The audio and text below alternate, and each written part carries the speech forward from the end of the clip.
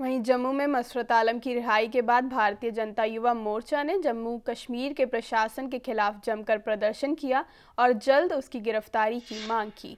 भारतीय जनता युवा मोर्चा का कहना है कि जो फैसला लिया गया है, वह जम्मू कश्मीर की जनता के लिए सही नहीं है।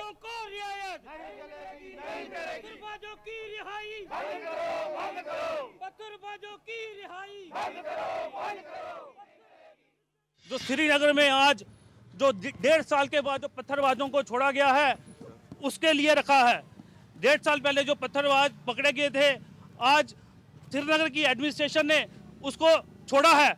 इसलिए भारतीय जनता युवा मोर्चा ने इसको प्रोटेस्ट किया है और ये प्रोटेस्ट पूरे जम्मू कश्मीर में होंगे।